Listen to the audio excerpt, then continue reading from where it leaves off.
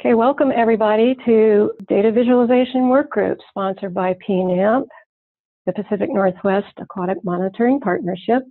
We're based out of Cook, Washington. And now we're having two presentations today, one from Steve Rubin and one from Sachin Shah. And their presentations will be sort of a tag team. So uh, I'm coming to you now from Tacoma, Washington, where I'm at the ESIP conference, which is the Earth Science Information Partners. And this is a resource that would be useful for all of you. I will be putting information about the meeting that they're having, a summer meeting right now, uh, which will be recorded and available August 8th. I'll put that in our resources document. Sachin can take the screen. So Steve Rubin, uh, fishery biologist based in Seattle and with USGS, and now at the Western Fisheries Center, but with USGS since 1994, uh, is presenting about Chinook and their habitat, well, young Chinook and their habitat in eelgrass in Puget Sound, and Sachin Shah with USGS since 1999 with Georgia and the Texas Water Science Centers, and has spent six years in Asia with the World Bank Water Program in South Asia, and is now also in Seattle as the international team lead. Sachin, if you can take the screen and take it away. I'll give it over to, to Steve to just start us off. Okay, just an overview of this. I'm going to try and give uh, just enough background on the data so that when Sachin takes over describing the data visualization tool that he developed, that you guys can follow along. Okay, so here we go on the data background. Uh, several of us have been working on characterizing juvenile salmon and forage fish use of eelgrass, particularly on large river deltas in Puget Sound. And so just quick on eelgrass, it's a flowering plant that occurs in in the nearshore, in the deep intertidal and shallow subtidal areas. And on large river deltas, it forms extensive meadows like you can see on in this in this picture. And uh, this here's an underwater shot. Um, it creates three-dimensional habitat. Um, and uh, you might be able to see the, the fish in this picture. Um, let's see, do I have a, a, pointer? Yes, I do. Can you guys see the pointer? Yes, we can. You can see the pointer? Okay. Well, anyway, there's the fish, just for fun. Okay. Um, so the issues with the um, use of eelgrass, uh, just you know, there's there's um, details here. What's the, what's a port? Does does the does the eelgrass provide for juvenile salmon as they're out migrating through the estuary, if any? And then there's local um, forage fish species that also use the habitats. So, uh, you know, when is it important? What settings is it important in? So forth and so on. Um, and the second issue is, you know, the, the uh, river deltas have been gone through, many of them have been modified a lot, and this will become clearer in the next couple of slides, but uh, especially with diking and river channelization to create, um, to protect farmland from saltwater intrusion. So um, the work I'm, I'm gonna, we're gonna talk about is uh, conducted in the Skagit River Delta. Uh, and so this is a picture of it, and here uh, top of the screen is the river coming in. It splits into the North Fork and the South Fork. Um, and you can see all this farmland that is protected by dikes. And these in the North Fork and South Fork, but particularly the North Fork, are, are, are channelized. There's riprap on both sides of the bank. Um, and what that, just leave it at that. But then in this picture, where the eelgrass is, so this this whole area here is uh, the uh, tide flats. I mean, it's a it's, Skagit River is, the, is a big river, and this is a big area when you're out there on a boat. Um, and the eelgrass grows on the outer edge of this of this flat area. You can kind of see this dark area also up here. That's eelgrass. Okay. This is the same picture, but schematic to show our sampling design. Um, so what's important for this presentation are these zones. four zones, two, three, four. Um, and they and they differ um, in in the um, in their characteristics. And one one thing that's important is there's a there's a this is this is a navigation channel that that is um, kept it's dredged to allow boats to go up here and eventually can get up to Padilla Bay that way. It's kind of like a mini Panama Canal or something, although it doesn't have any locks on it. And uh, so there's a jetty that separates the North Fork coming down here from the navigation channel, uh, which makes this up here different from the rest. It's a depositional zone for fine sediment. It's a little bit more saline because it doesn't get as, quite as much fresh water from the from the river. Uh, leave it at that. And then uh, zone two is off the North Fork. Zone three is in the middle. Zone four is off the South Fork. Ponds outlined in green or brown. Um, those are our those are our sampling sites, and the ones outlined in green are eelgrass. Inside are eelgrass, and the ones and the ones in brown are um, unvegetated, basically unvegetated tide flats and we had site, we tried to, and so th this design was to do paired, um, pair sampling, eelgrass and unvegetated in each zone, except in zone one, there was no comparable. There was, we couldn't do unvegetated because there just wasn't anything that was comparable. Uh, and the other slight detail on this is that um, these unvegetated sites were added. This is a three-year study. The unvegetated sites were added in the second year, so there's no, there's only the vegetated, there's only the eelgrass areas in uh, the first year. Okay. Let's see, anything else on that? I don't think so. Okay, so this is when we sampled monthly, April through September, and there's the three years, 2008 through 2010. Um, and this is this is salmon time. This is the uh, this is when the uh, out migrating out migrating juvenile salmon are in our study area. That's so they were obviously the highest priority species for us. Uh, okay, and this is how how we how we sampled. Um, it's uh, this technique called lampara netting, and uh, basically it's like an offshore beach seine, and we deploy with two boats and and retrieve it. Um, just think offshore beach seine is good enough for now. And these are the species that the Chinook, Chinook were the species of salmon most common in our catches, which is not surprising. They're the ones that use the estuary the most. And we also caught um, these the the um, lots of herring and surf smelt. Those are two important forage species, and also lots of shiner perch, which people care less about, but we included them in our studies. Okay, so that was the spatial and temporal background on the data, and so I set this up, and so we set we we set up these null hypotheses. You might hear about them again from Sachin, but uh, they basically go with um, with I'll just the uh, so no difference in abundance between eelgrass and unvegetated. So that's only zones two through four, and only 2009 and 2010.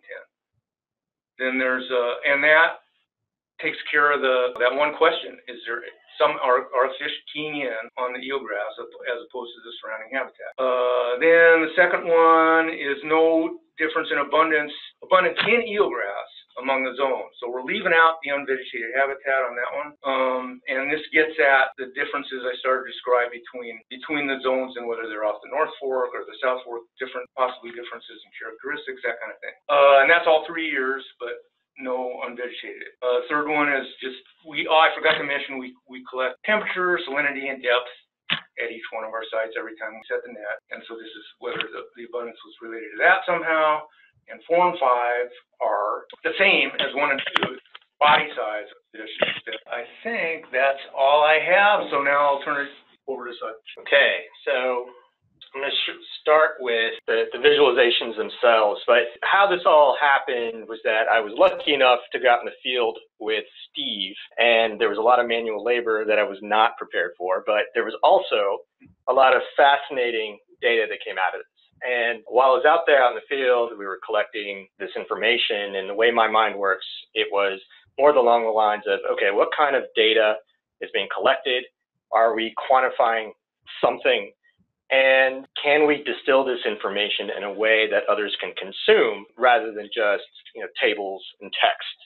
And finally, you know, how well does the science bridge the decision making? So can we create a narrative that follows all four of those criteria? And the answer was yes.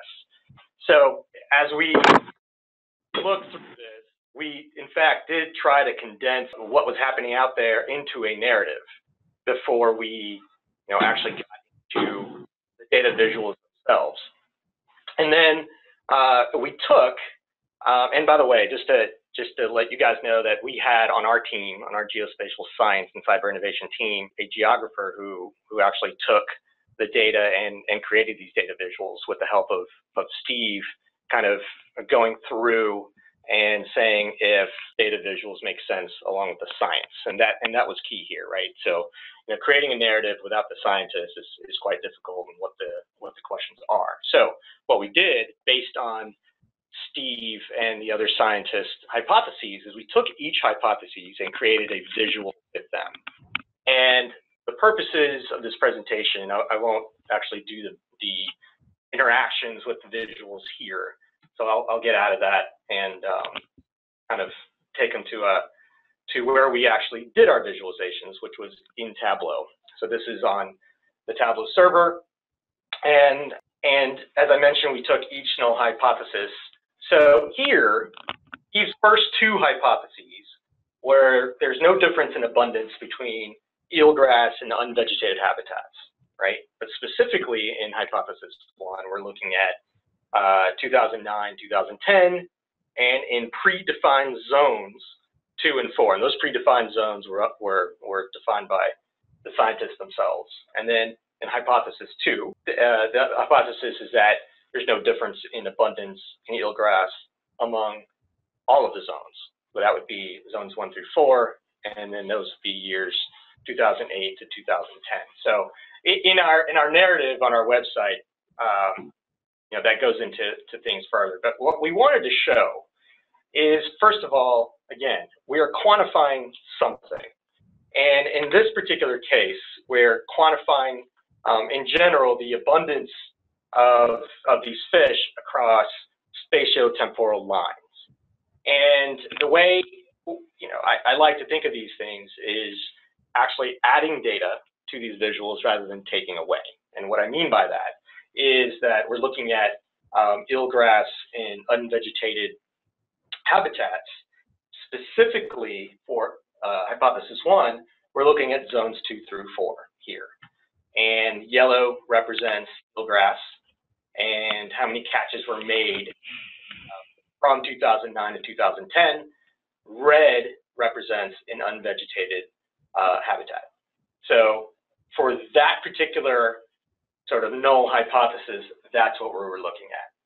Um, and as you read the narrative, you know, the text textual narrative along with the graphical narrative, that's that's hopefully what folks can see um, just by looking at it in you know offhand, right?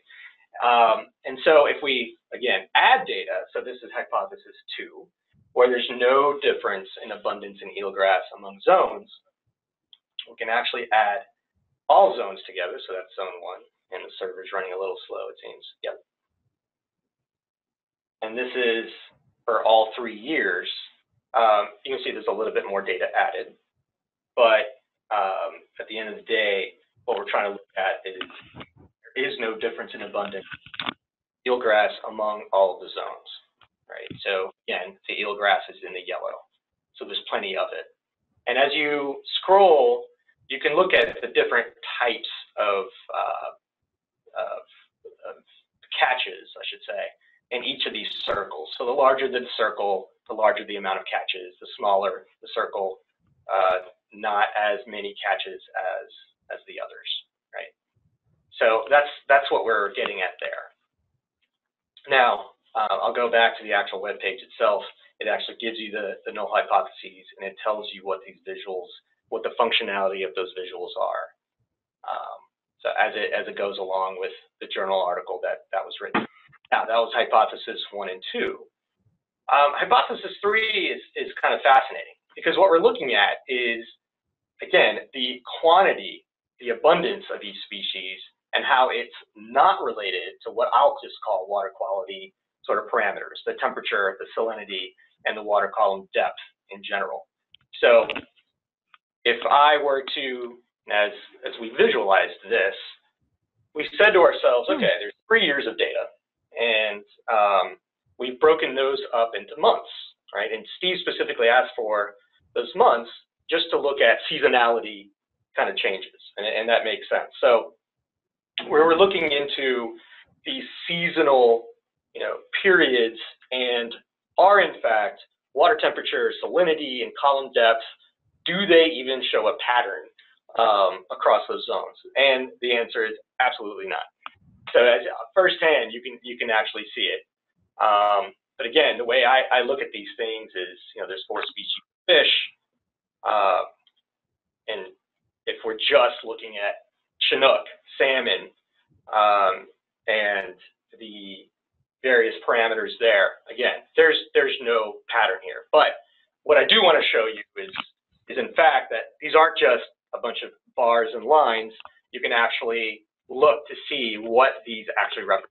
So salmon, number of catches there, and then side by side, what in the fact, what is the water column depth, the temperature and salinity um, at the top or at the bottom, and is there in fact a pattern across seasonality as well as across species? So if we add more data, you can compare species. That was Pacific herring.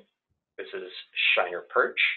And this is surf smelt. So you can spend quite a bit of time here uh, and we're comparing species across zones and in relation to uh, the water quality. Um, so again, right off the bat, you can just tell visually that the patterns don't necessarily exist. And then you can take a deeper dive into what those particular data are, what they mean, and even if you dive deeper, why there's no pattern. And that's where the complementary you know, citations of a journal come in. So just to be clear, you know, these visuals aren't necessarily uh, replacing a citable journal article or report, but it's very complementary in the sense that you can actually look at the data in a different way than just textual content. So that's that's how we we viewed this.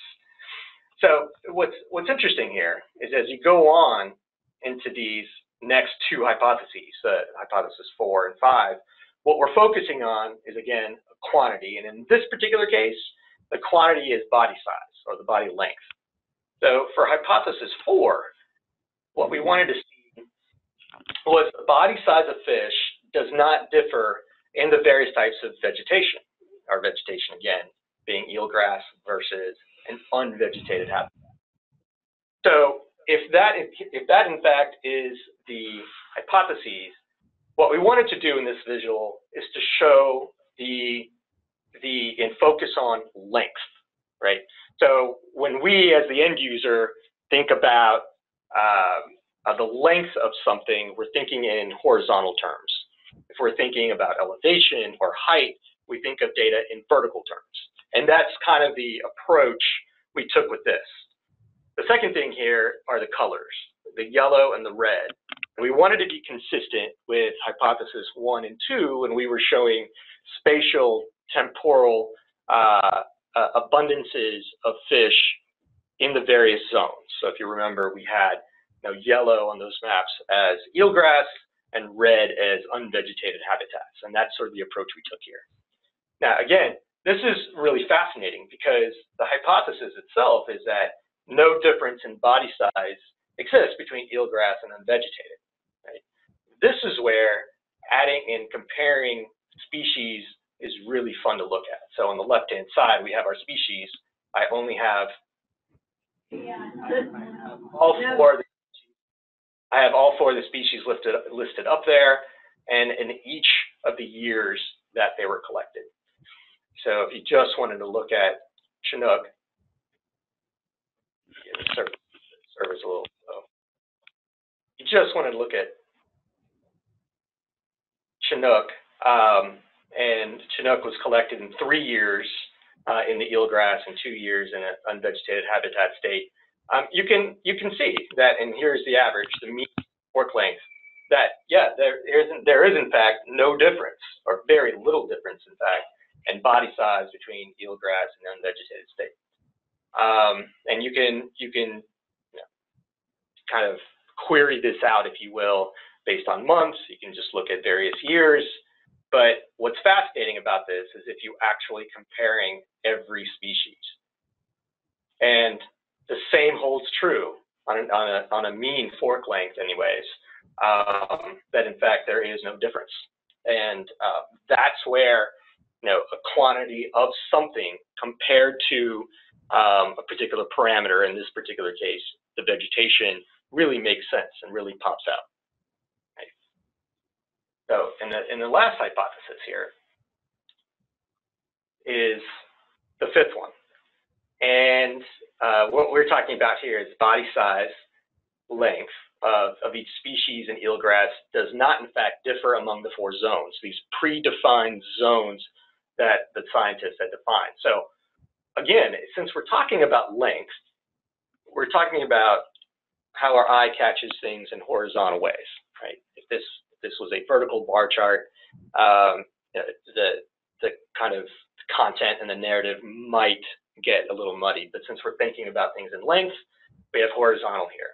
And I basically sequestered Chinook right off the bat, um, just to just to show one particular species. And again, this is average um, in all four zones in all three years.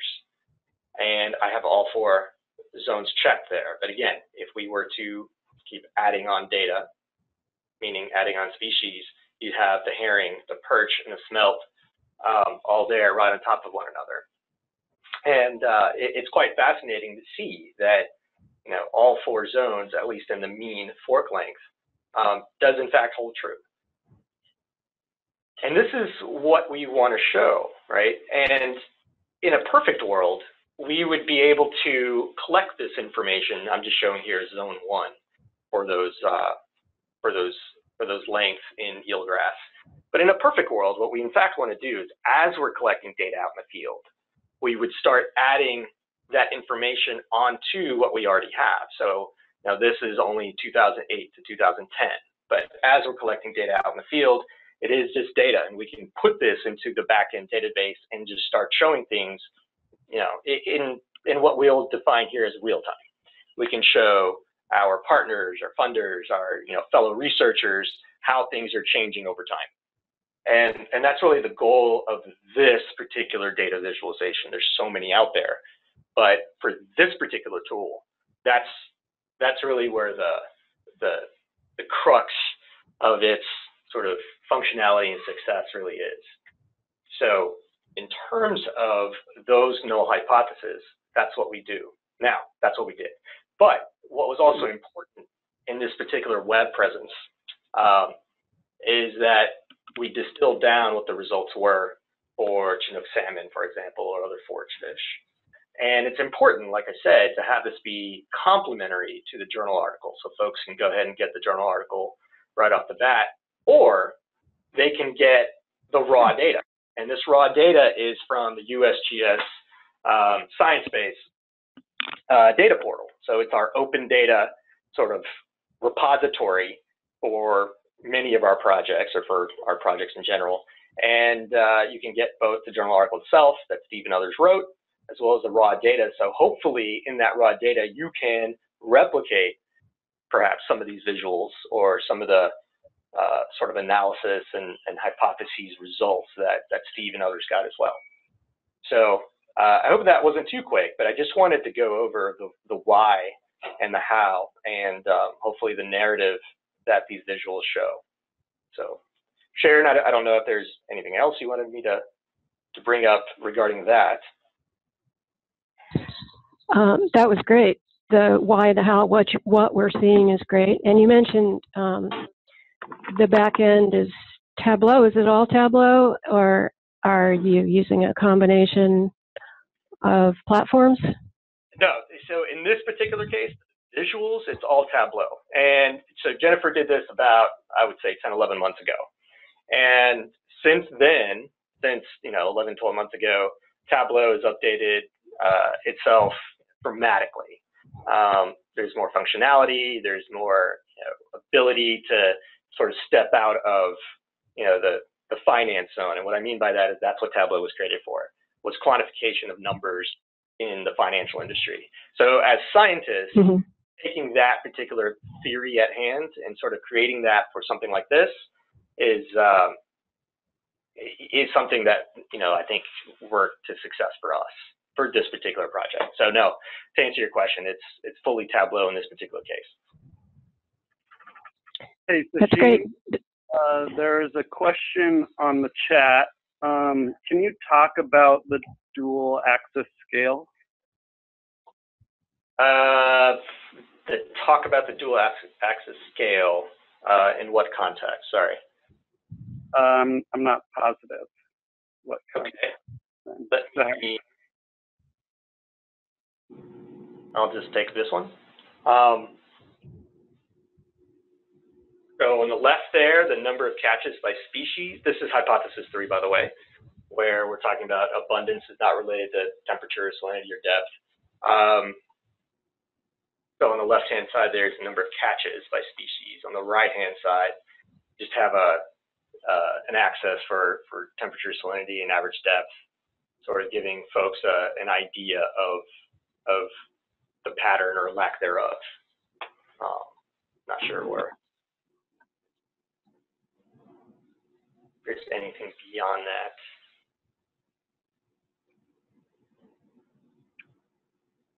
Yeah, um, they said yes. Sometimes it's hard to do, uh, but it seems to work out here.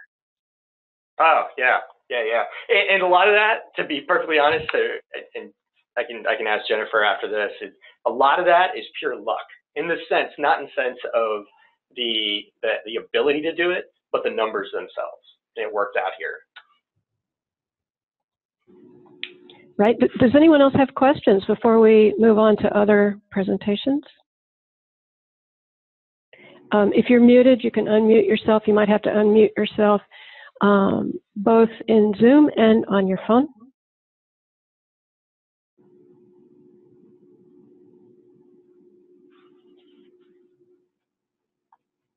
Looks like we're good. Sachin, anybody can jump in on the chat as well if you'd rather um, chat and ask a question that way.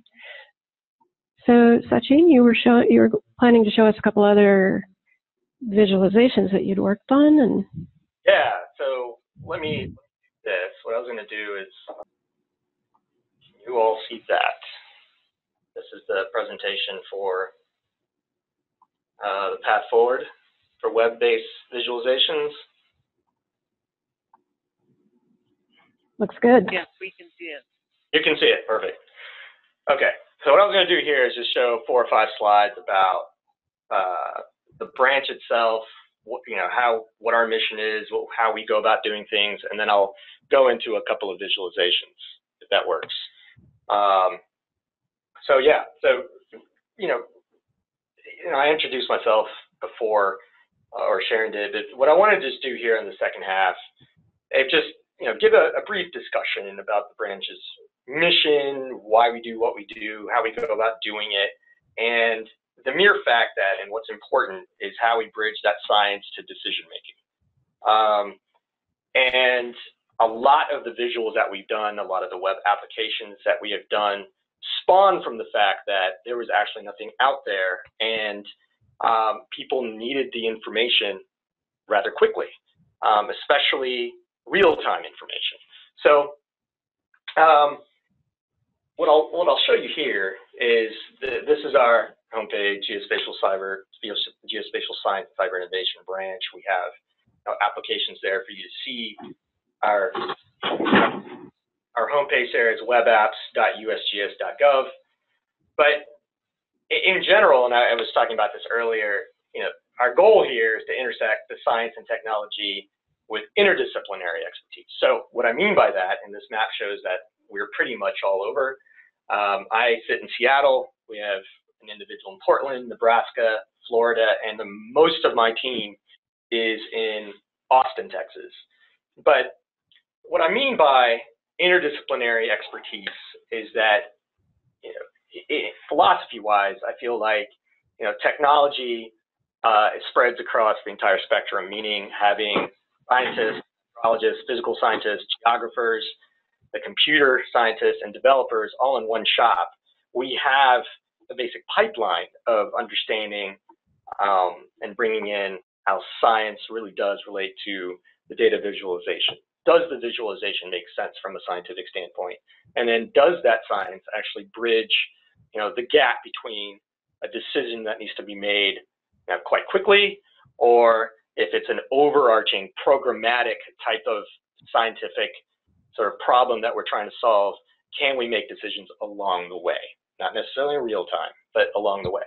And that's our that's our goal here. So, you know, we can do you know, in many of our visualizations and applications, geospatial and data analysis, remote sensing, modeling statistics, and our computer scientists are, you know, heavy into code, software development, and then uh, our developers, other ones, back end, front end, are doing the design uh, aspect of things. So for those of you that are, you know, may or may not be on the in, in the survey, but maybe outside, I sit in the water mission area in the Texas Water Science Center, though, and we work many, you know, water type projects, but we have actually do quite a bit of things across missions, right? So ecosystems, the Western fisheries in this particular case, um, environmental health, natural hazards, and uh, energy resources. So across, we've done lots of work, collaborative work with scientists as well as our sort of shop across the board. And what's nice about that is what that tells us is that the, the, the science, no matter what mission area, that narrative has to be told in different ways, right? And um, it's just a different type of nuanced type of information that needs to be told in a particular narrative. So that's the sort of that's the sort of uh, you know, theory and mission and, and what kind of gets us excited uh, to do these things. So, um, you know, talking about the visualization, you know, we're also talking about how we use it, the information, how we use the data, how we wrangle that data that ultimately turns out to be something that's aesthetically pleasing and hopefully something the end user can consume, right? And you know, we have direct measurements, the primary measurements and secondary data compilation stuff that the survey does, and it does, you know, phenomenally. And we're adding on various types of analyses into the visualizations. And the reason to do that, right, is that, and I'll, I'll the, you know, the, the fishery side of things, is we have just a bunch of data, fish health, ecology, maybe water quality, and trying to distill that down and fill in those data gaps. And where those data gaps are being filled in now are especially with remote sensing and modeling and to hopefully kind of distill that, wrangle that down to make data derived decisions. And so if we can make our visualizations and applications do just that, then then we've hopefully a short or long-term problem in terms of the decisions themselves. And so, you know, we have to make these scalable. So for example, uh, Steve's work here, as we add on more and more data and get a more robust data set, we can make perhaps better decisions on them. And then we have to make them relational, meaning relational. So it's not just water data from the water mission area, for example, that's important, but coupling that with ecosystems data or coupling that with you know, data on risk. Um, and then open source. We want people to be able to, to not only use them, but hopefully replicate this. You know, hopefully people can take this information and make it even better. You know, and that's that's the goal. So uh, what I'll do here is you know, maybe go over a couple of applications here. One is uh, the Walker Basin Reservoir um, and real-time reservoir information, stream gauging information, and weather and so forth. And a lot of that, this is extremely important because there are so many partners involved. And this is a good example of having many people at the table, you know, having an idea of what exactly is going on over such a large scale. That's one. And the second one I wanted to talk about, this is real-time stream and water quality um, in a drinking water reservoir for the fourth largest city, this being Houston, and how they are using this to actually uh, make decisions on water treatment. And the last one, and I, I included this uh, just from the standpoint that it is about aquatic biota and fish. And this is a, a Delaware River in Texas. And if we and if we now have time, I can show this to you. But the other two are are really important in terms of decision making, the types of data that are being used to make those decisions, and you know the sheer amount of uh, of stakeholders that are using this information on a daily basis. So let me get out of that and actually show you some of these. All right, I'll start with Walker Basin here. And Walker Basin is fascinating, like I said, because of, uh, of how many people are actually using this information, how much data wrangling had to take place. There's about 10 partners um, with 10 different interests and um, many, many constituents regarding those interests. And so um, it's an interactive map, and what what this Walker Basin Hydro Mapper, as we call it, does is it provides like a, a basin-wide perspective of real-time stream flow, stage of those rivers, as well as lake and reservoir storage capacity.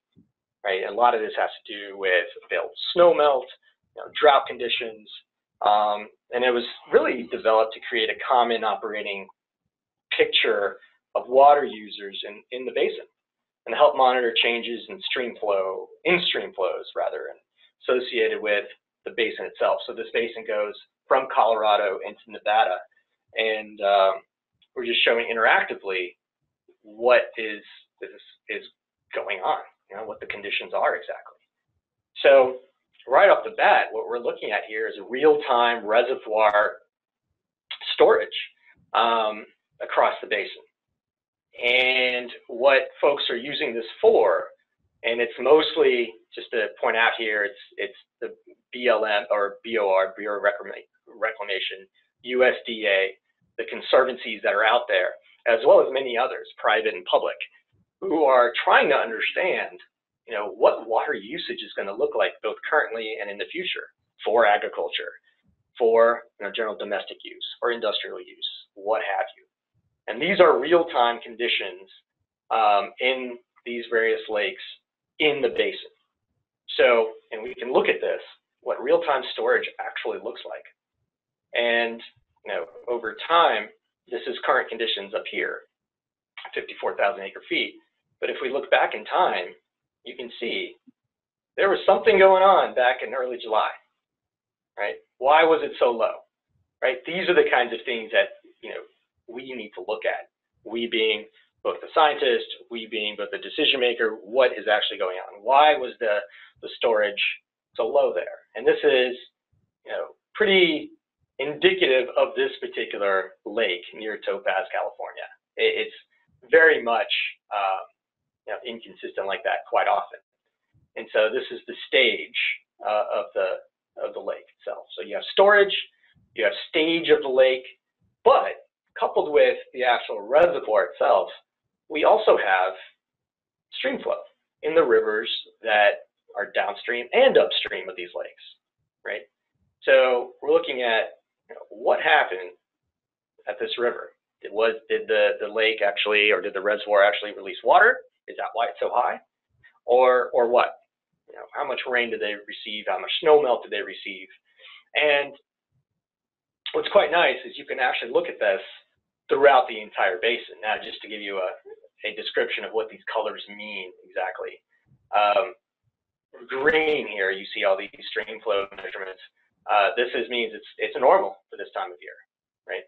Um, and which is great. But these lighter blue areas, meaning it's in the 76th and 90th 90th percentile, means it's pretty much above normal for this time of year, which is an interesting phenomenon for them that usually is not the case. Um, so so this is just a different type of, of kind of situation. Now, you know, we were able to get with the NRCS and get snow telemetry data, the SNOTEL data as well. So the narrative now improves and you can tell a different story about what is or is not happening and what we might have to do in the future if you were a decision maker in this area. So, you know, we're able to to get external partners data. So what's important about this is not just USGS data. We're able to bring in other data as well. And, and that was key because many times USGS visuals, applications, what have you, things that we serve are typically USGS data collection only. And um, you know, as we move forward, we're we're going to have to start bringing in other partners' data as well, and it's and it's going to be important for the future of of decision making in general. So we have snow telemetry data. Now, what's important here as well is understanding, particularly in this case, you know, what does the rain situation look like? I've turned on the radar information from National Weather Service, and no rain. No rain anytime uh, that's happened anytime in the current, uh, you know, in the past hour. We can look at the past day, past three days. We can look at trends, what happened in terms of stream flow and reservoir storage um, when it does or does not rain. And uh, it's a fascinating thing to see. So this particular data set is from the National Weather Service. Uh, we have snow melt, we have cloud cover, we have drought. All of these things uh, were typically looked at separately, right? And as we know, these are not conditions or data sets that are mutually exclusive. And so having all of these things together in one in one spot is absolutely key. Um, and putting you know, various other types of data on. Here are the watersheds, that you can look at as on an individual basis, um, and just many other functionality. I won't show everything now, but many other functionality that we think are important. You know, there's also real-time water quality sites um, that we did not have in version one, for example. That we're now on version two for this, and you can look at real-time water quality. In this particular case, we're looking at temperature and conductance going on right now. So in the, if we want to look at a two-day period, we can zoom in and look at a two-day period for water quality uh, on the Walker River near at, at, Walker Lake. You know, on the Walker River near mouth at Walker Lake. So basically the mouth of the river. And um, you know, you can look at the temperature, conductance. How does that relate to stream flow? How does that relate to stage? How is that going to relate to storage, if at all? And um, and as I mentioned, you know, having these real-time water quality aspects to this is something that wasn't there before because we were solely, these partners were solely in, interested in quantity, not necessarily quality. And something else that we can look at here is we only have three sites here. You know, maybe we need to add more. Maybe those are the questions that we need to, to be considered. So this is just uh, something I wanted to point out and show that you know, real time, number one, uh, it is extremely important, but data consistency, number two, and data abundance, number three, all three of those things are extremely important in telling the most robust narrative that you can. And what's what's been really special here is, I, as I mentioned, the sheer number of partners that were involved in this was was really the success story. So that was one. Now, two, I mentioned I want to look at this. This is the water quality monitoring on Lake Houston. Now, the reason this is a special case is one, is that the partner here is the City of Houston's water treatment plant. As you can imagine, the City of Houston, being the fourth largest city, has just gone through a horrific hurricane in, Hur in Hurricane Harvey.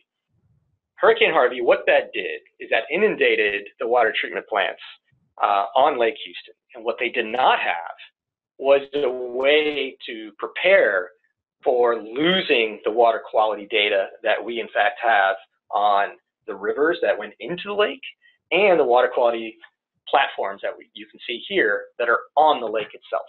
and we're collecting real-time water quality data so that they can prepare water treatment operations. And now what they do have is, is this particular interactive map that I'll show across large screens in their treatment facilities so that they can prepare you know, what's coming down the pipeline.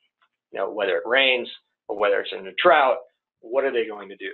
Um, and during Hurricane Harvey, those particular treatment plants were absolutely inundated, and there was just a, a, a lack of information for, for them in real time to consider what to do.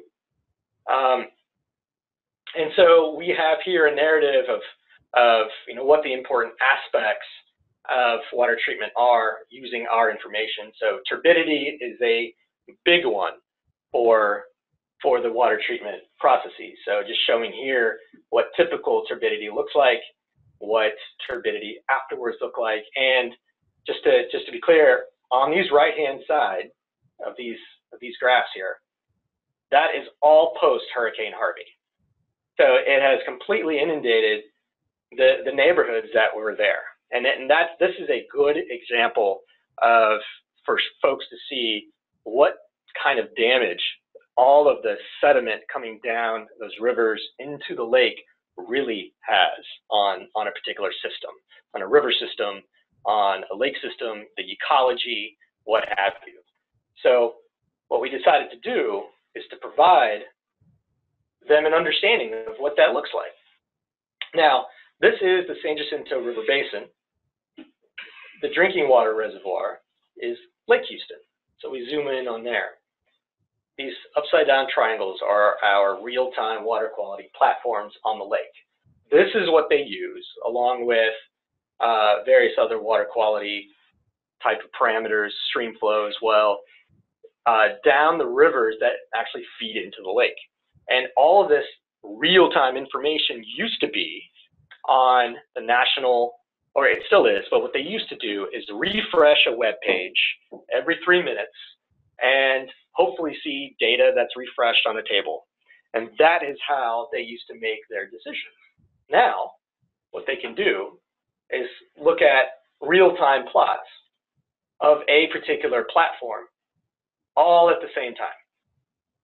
So this particular platform I've chosen is this one. This is what we call, you know, it this intercepts, as we call it, the, the sediment and the turbidity and, and the conductivity. This one down here is right at the treatment plant. So what they're able to do is sort of do an analysis of you know, how bad or good the turbidity, the temperature, the conductance, the dissolved oxygen, the pH is in those various places. And they can, in real time and much earlier, actually prepare their treatment processes. And uh, so again, this is this is happening right now, but if they wanted to look at analysis of what's happened in the last three days or so, they can do that. And all four of these real-time platforms do just that. Now, we do know just from our analysis that in this watershed, the western portion of the watershed of the watershed is extremely urban. The eastern side, for example, is extremely rural. And, and, we can look at different types of base maps that can help us with that, you know, topography, streets, imagery, terrain, um, and, and look at how these different changes in the watershed and the development in these watersheds impact stream flow and water quality. That's the key. That's the key for the city of Houston, not just from a treatment standpoint, but from a planning standpoint, urban planning standpoint. And now, this being Houston, we actually might see some rain. Um, not now, then in the past. But you know, the past three days, have there been any rain? And th there you see. There you see the cumulative rainfall in the past three days.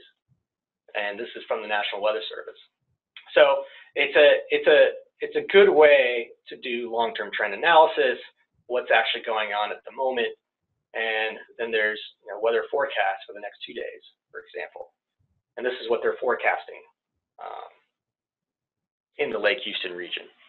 So now, because of Hurricane Harvey, because of more frequent, more intense rainfalls, they're having to completely shift what their procedures are going to be. They need now they need a, a, a more robust climate plan, a climate change plan on how they're going to handle uh, water quality sort of issues beforehand.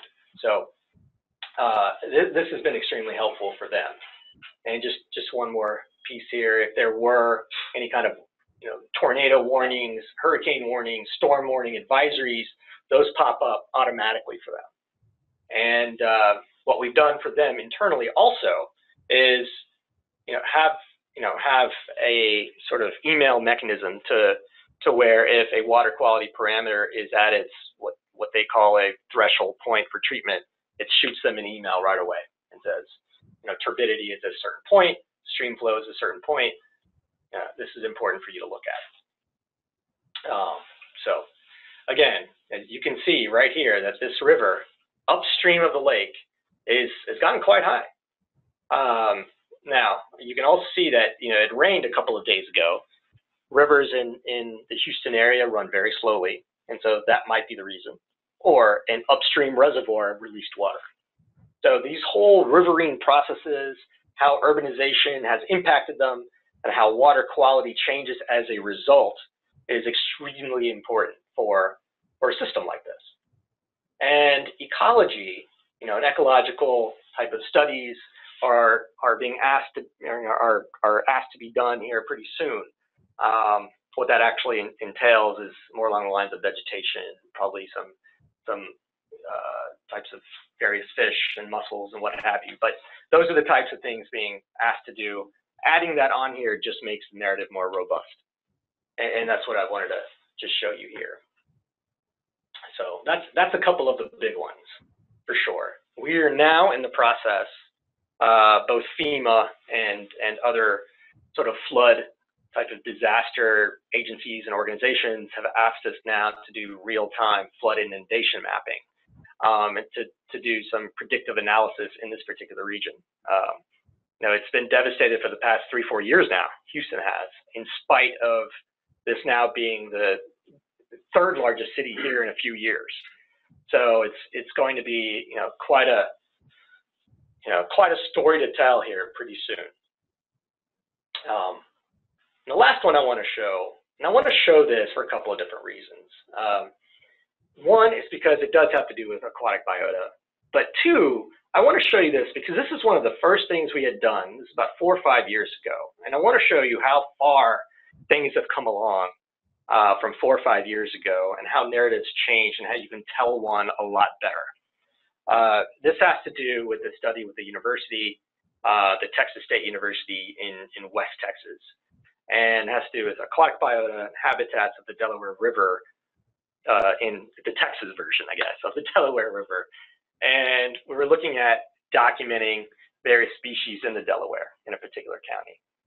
Um, and, and, the university have had primary objectives to do that. They just want to compile historic records, look at spatial trends, you know, look at quantity and quality of water and whatnot.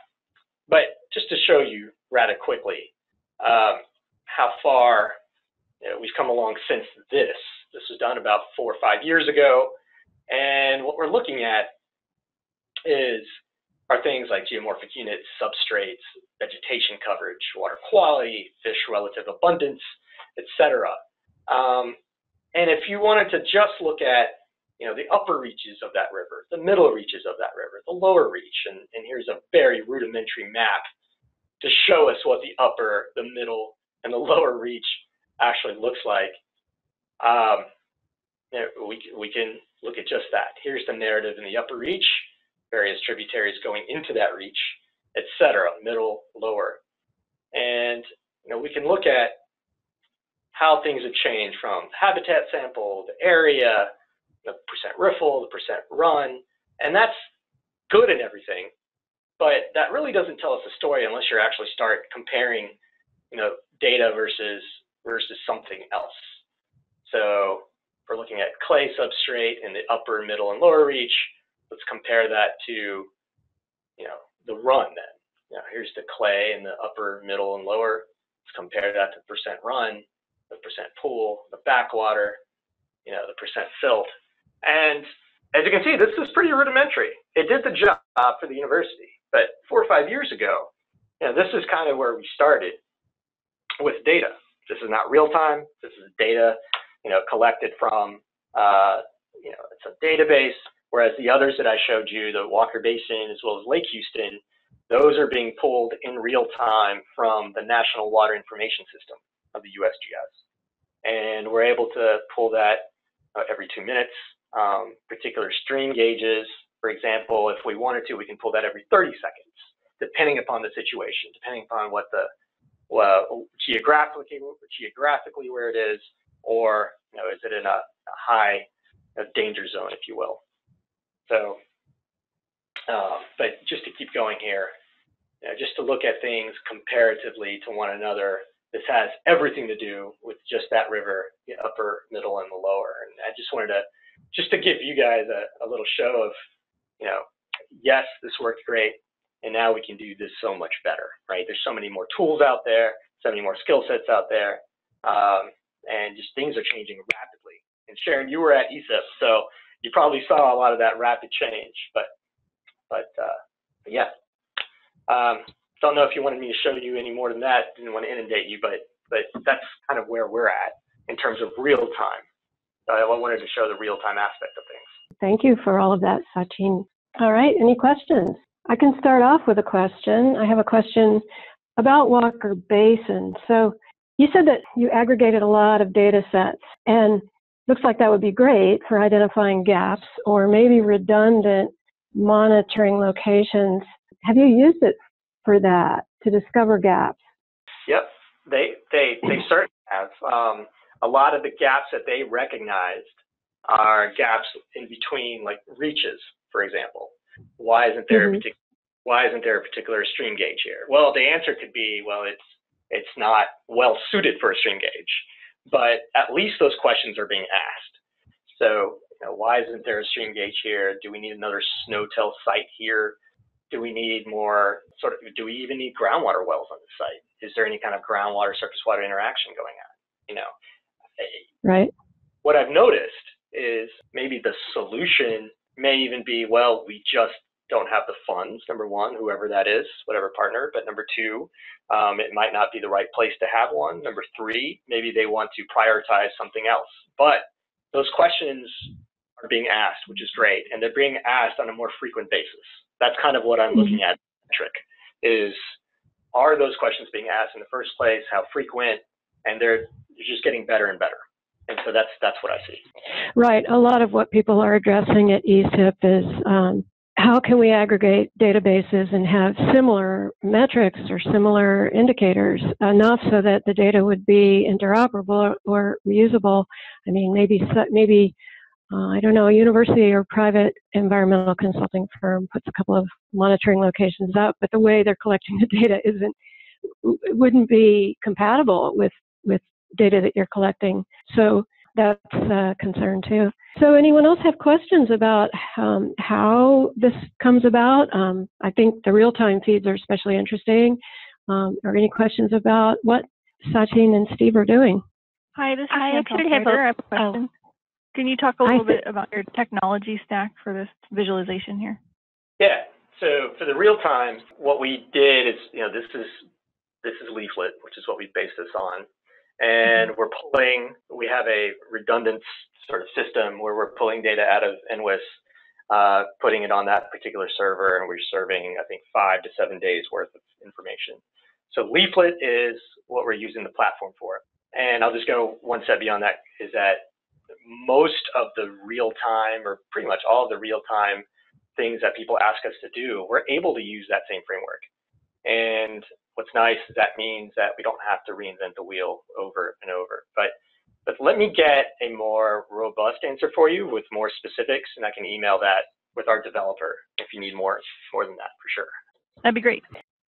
This is Jen. I I do have some questions about how you're serving this in USGS, but maybe it'd be better offline because it's more of a USGS question because we built uh, monitoringresources.org outside of USGS. It's not a .gov, it's a .org for PNAMP use.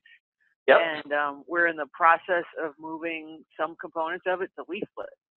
so this has been a really cool thing to see, and uh, I'd love to talk to you offline um, about how you got this going, and probably have some more questions about leaflet. So I'll, Sure thing. Yeah.